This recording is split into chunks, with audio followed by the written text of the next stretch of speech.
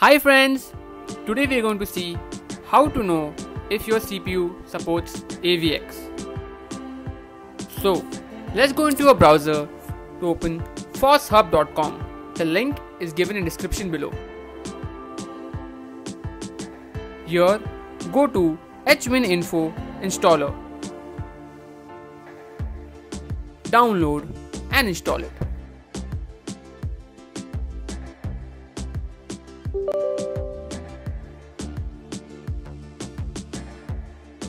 Proceed by selecting I accept.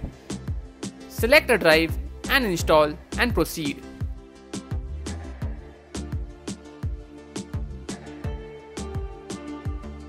Once the installation is complete, launch the software. It will ask you permission to run it.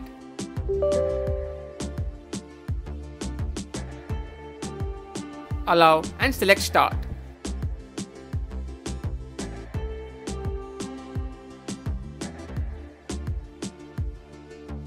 Once the software is running, go towards the features section and there you can see AVX written. If it is green, your CPU supports AVX.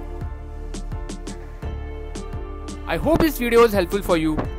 Thank you for watching.